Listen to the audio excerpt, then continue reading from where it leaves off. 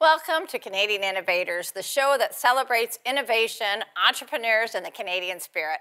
I'm Jocelyn Bamford, and every week we introduce a new entrepreneur or expert on the economy to tell their stories and unpack the challenges of keeping jobs in Canada, as well as to discuss potential solutions for job growth and prosperity. Canada is blessed to have a rich resource sector. If you look at Canada's GDP, you'll see that resource and manufacturing second sectors are the second and third largest GDP contributors. They are also completely linked. Manufacturing requires affordable energy to compete and to thrive and to develop new job opportunities. Today on the program, we're going to talk about the move from forces both external and internal to our country to push financial institutions to divest from our natural resource sector. This is the divestment movement, and it's going to have some very real and devastating consequences to Canada. Joining us to discuss is Gina Pappano, Executive Director of InvestNow. Gina was the head of Market Intelligence Department at the Toronto Stock Exchange and the TSX Venture Exchange for 15 years. The majority of her research and analytical work focused on the natural resource sector as well as renewable energy. Welcome to the program, Gina. Thank you, Jocelyn. It's good to be here. So tell us about Invest Now. A lot of people haven't heard of it, and we'd love to hear about it. Invest Now is a not for profit corporation which was launched about a year ago, just slightly over a year ago. And we're dedicated to pushing back against the divestment movement and demonstrating that investing in Canada's resource sectors helps Canada, Canadians, and the world. So, so Gina, there's been a big push to starve investments in our natural resource sector. So who is behind this movement in your opinion? Well, the divestment movement has powerful financial and ideological support. For example, the extremely well funded and well connected group 350.org drives local campaigns across North America and Europe, and really the world, to advocate for divestment by universities, governments, banks, and public pension funds and and recently now they're actually targeting individuals as well to divest their funds from banks that are um, investing in oil and gas oil and gas companies. In a recent release i just wanted to re- quote this from their recent release. They announced an international campaign targeting politicians and banks. And um, they wanted to target the politicians and banks over their support and funding of the fossil fuel industry so they asked for supporters to donate so that, and this is in quotes, so that 350.org can launch climate mobilizations all over the globe to dismantle the fossil fuel industry. So this brings to mind the Maya Angelou quote when someone shows you who they are, believe them. Yeah, it's absolutely. written right there in their press release. Yeah, very, very scary. So mm-hmm. um, let's talk about um, ESG investment. What does the ESG stand for, and how to get started, and how is it impacting our resource sector and jobs here in Canada? Well, ESG stands for Environmental, Social, and Governance. The movement started at the UN in 2004, and the term was first coined in 2005 in a study entitled Who Cares, comma, Wins. The movement wants ESG factors to become part of the investment process and decision making. There is a disconnect between ESG investing and the divestment movement, however. The divestment movement insists on complete and total divestment from the oil and gas industry and does not take into account any ESG factors.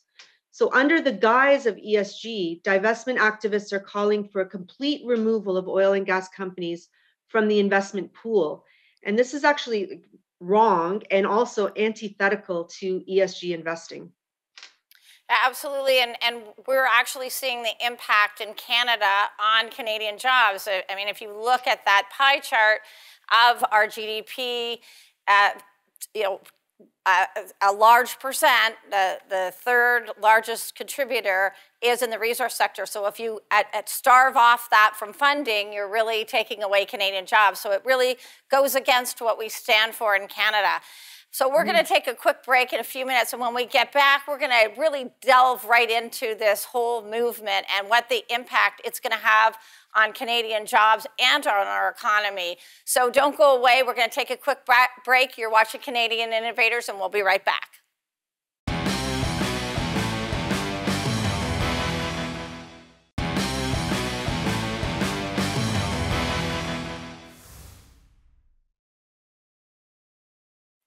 Welcome back. You're watching Canadian Innovators. Joining me today is Gina Pappano, Executive Director of Invest Now.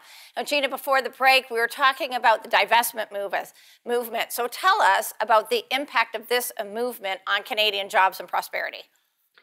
Well, divestment activists want to starve our resource sector of the capital they need to thrive and the capital that they need to provide the benefits that their workers and society in general enjoy. So, if the cost of capital increases and the costs of doing business increase, companies may think twice about setting up shop in Canada, and that will lead to job losses in all sectors, not only oil and gas. Yeah, very concerning. Um, part and parcel to this is affordable energy, and it's so important to manufacturing viability. Tell us how the divest movement is going to hurt Canadian manufacturing. Well, the divestment movement is targeting the hydrocarbon industry. And really the it's it's not even taking into account all of the other products that need oil and gas to um, to function. Like we wouldn't have so many products if we didn't have oil and gas. But really, the hydrocarbon molecule is still the most efficient, most reliable, most affordable energy molecule. So Canadian manufacturing is highly energy intensive. Moving away from hydrocarbons means increasing costs, which means Canadian manufacturing will be hampered and Canadians will be hurt and jobs will be lost.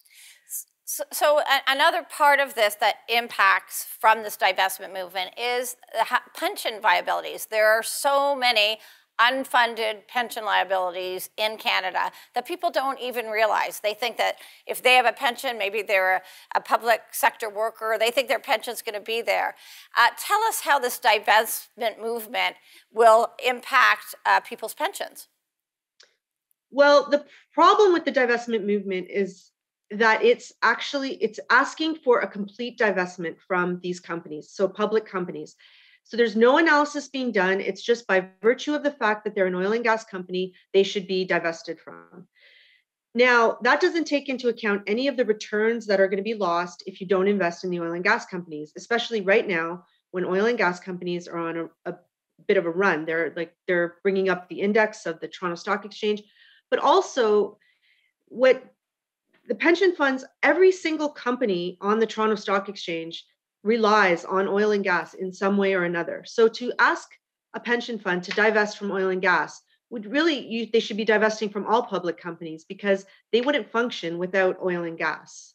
The impact that divestment doesn't have it's after a decade of the divestment movement divesting from fossil fuels has not reduced global emissions it has not reduced demand for energy and it does not foster innovation so, so those so, are the impacts. So talk to us how, how it could be. I mean, you could have innovation and in our resource sector we see that every day uh, canada has one of the cleanest resource sectors in the world and you could have prosperity tell us how it could be um, if if the financial markets were not swayed by these divestment groups well as you just mentioned canada has some of the highest environmental and governance standards in the world our resources sectors are investing in carbon tech and clean tech solutions to reduce emissions. Our resources sectors can play a leading role in reducing emissions, but not without investment. So, investment leads to innovation. Um, who's to say that the, the, the most impactful innovation will not come from the oil and gas sector? We, we don't know. We can't see the future. So, we need to invest in our oil and gas sector so that will lead to the innovation that will reduce emissions. Yeah, absolutely. And we could see that getting our clean liquefied natural gas to market, if we had pipelines built, could help China and India come off coal so we could have prosperity here in Canada and we could have a cleaner planet. And I don't understand for the life of me why politicians don't make that connection, but we're going to try and help them. And the financial mm-hmm. community should be uh, understanding that if they starve off this, they're actually putting potentially some of their customers out of work because they uh, are working in the oil and gas industry. So we're going to take a quick break, and when we come back, we're going to talk more about what's happening with this divestment movement and how we can stem the tide of our resource sectors leaving Canada. You're watching Canadian Innovators, and we'll be right back.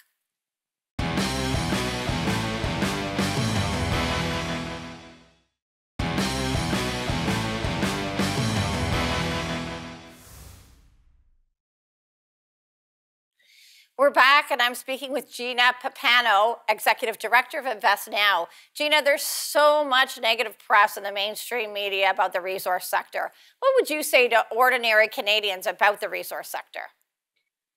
Um, well, I would say our resources sector is the most productive sector in Canada.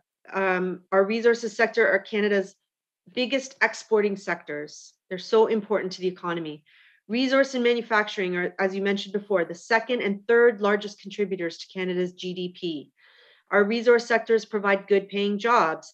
And there's also trickle down with all of manufacturing that relies on our resource sectors to manufacture goods and goods uh, in Canada.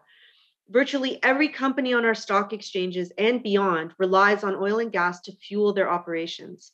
So we should unapologetically promote our natural resource sectors instead of vilifying them. Um, you know, providing tax dollars for social benefits. There's so much that the sector provides for in Canada and to everyday Canadians. Yeah, absolutely. There's so much that we could have if we had a vibrant resource sector that was allowed to flourish. But let's talk about the environment. What role can the Canadian resource sector play in a cleaner environment? Uh, well, as mentioned earlier, Canada has some of the highest environmental and governance standards in the world. Our resources sectors are investing in carbon tech and clean tech solutions to reduce emissions. They're investing a lot of money in that. Um, our resource sector can play a leading role in reducing emissions, but not without investment. Investment is required. Yeah, absolutely. And, you know, when you think about it, I think a lot of Canadians don't realize with the resource sector that um, if you have a relative in either the resource sector or the manufacturing sector, you really need to speak up and and make a voice uh, where there's divestment. So, Gina, how can ordinary Canadians, especially ones with relatives in the resource and manufacturing sector, get get involved in pushing back against uh, this narrative? Well, at Invest Now, we're trying to target, uh, we're doing letter writing campaigns. We're trying to target boards of governors, decision makers who are making these decisions to divest, trying to let them know what we've just talked about, how important uh, we sometimes the decision is very is made easy because they're not really thinking about the consequences. Um, so as a an individual, you can let your university know, or even your pension fund if you belong to a public pension fund, that you are against divestment. You can write a letter to the CEO, the president of a university, the CEO of the pension fund, and let them know that you are against divestment. You can withdraw any donations that you may make to the university and let them know that you are doing that because of their divestment policy. And now that the divestment movement is targeting banks, you could also write to the bank CEO, let them know that you want them to invest in our oil and gas sector, not divest. Yeah, absolutely. I know when, when I meet with uh, any financial advisor, I talk about investment in the resource sector and making sure that we have a strong and vibrant resource sector. Uh, but I think one of the, the pieces that are missing from this puzzle is people just don't know. They're, they're, yeah. uh, the other uh, divestment side has so many more resources. They have people going yes. out and talking to the banks. And we really need a public relations campaign so people know how important the resource sector is to our jobs and our economy. So, Gina, is your organization doing such a, a movement in terms of educating everyday Canadians on how important the resource sector is to their to our economy and to their prosperity? Well, we're trying to educate corporate Canada because it's it's corporate Canada that are are the people that become that come on the board of directors of the universities that are making these decisions. It's a very small group of people that are making these big decisions that affects a lot of people. And as you said, the the other side is very well mobilized they have campaigns going at every single university. They're protesting, they're making noise. And usually, when you make noise, you get results. And um, we need to, we are trying to be in there as well, writing letters to the boards of governors, uh, letting people know that divestment from Canadian oil and gas industry is wrong. Yeah, absolutely. And, and if you think of a part that's manufactured in Ontario, it may be a part that's going to the resource sector, and that part gets loaded onto a truck, yeah. and the truck drives across Canada, and they might stop to get fuel and eat and maybe buy a present for their family member and deliver that part to a resource sector. So it really is a spoke and the wheel. It's all yes. interconnected. And if you pull down the resource sector, you're going to be pulling down the manufacturing sector and our jobs. Yep. But we're going to take That's a quick break and we're going to come back and we're going to see if Gina was a politician, what she would do to job to grow jobs in the economy in Canada. We'll be right back on Canadian Innovators.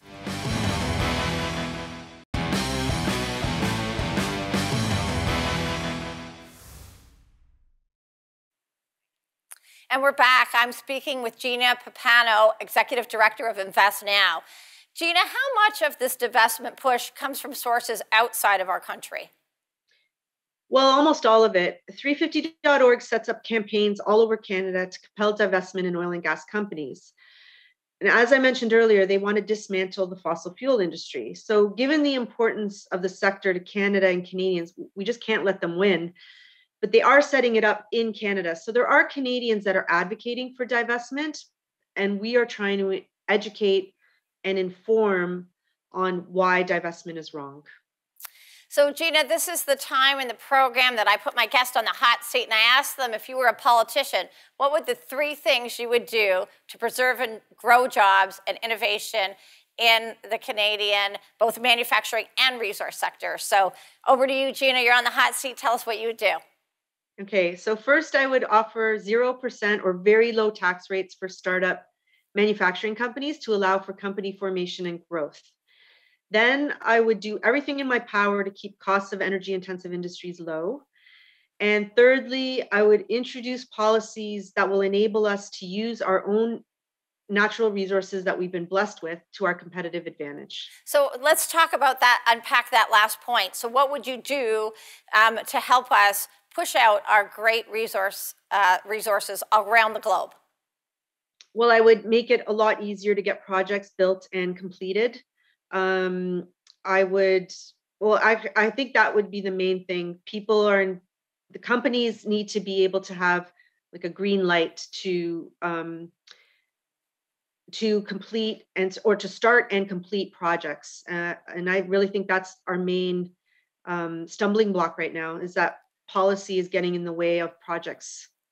Yeah, and imagine the jobs that we could have here in Canada if we got some pipelines through and we got yeah. our clean liquefied natural gas to market. I mean, and a lot of those jobs are high paying middle class jobs that really fuel the middle class. So, really, the mm-hmm. attack mm-hmm. on the resource sector and its impact on the manufacturing sector really are an attack on our middle class people. So, we really need, do need to speak up.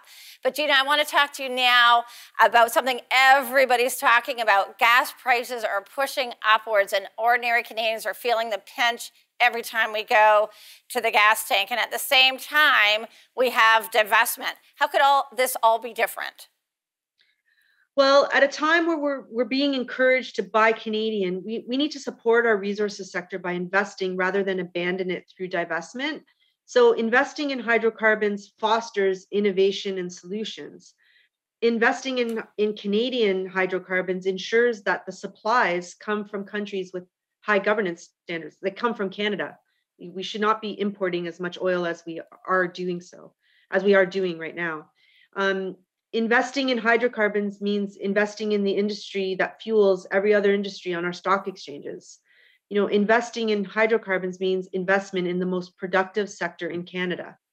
So that that's it in a nutshell. We need to invest instead of divest in our industry. Absolutely, and and you know, with recent uh, in the news, we're having all kinds of issues with mm-hmm. uh, we see in Russia and the Ukraine, and that's only going to impact our pocketbook issues, uh, our yes. cost of fuel, and we could be ener- energy independent as opposed to mm-hmm. energy dependent uh, with the cleanest resource sector in Canada. So, absolutely, give us your call to action. What would you tell everybody watching, and what would you tell a banker that's watching right now, Gina? Um, don't abandon one of our strongest sectors in Canada. Don't hurt everyday Canadians. Let's build our, our sector. Let's build the middle class. Let's keep these jobs in Canada and let's get our economy roaring. Absolutely, and we could do all that. It would be so simple to get our resource sector going and support our manufacturing and support the middle class. So thank you, Gina, for coming today and highlighting this very important issue that Canadians may not be aware of. Thank you, Jocelyn. Well, that's all the time we have today. Thanks to my guest, Gina Pappano, Executive Director of Invest Now. Canada needs a good strategic plan for both our natural resource sector and our manufacturing sector. We could have prosperity, high paying middle class jobs, and a cleaner planet. We just have to demand that politicians deliver this to us. I'm Jocelyn Bamford. Thank you for watching Canadian Innovators. If you're an innovator, tell us about your story. Write to us at Canadian Innovators at thenewsforum.ca, and we'll see you next time.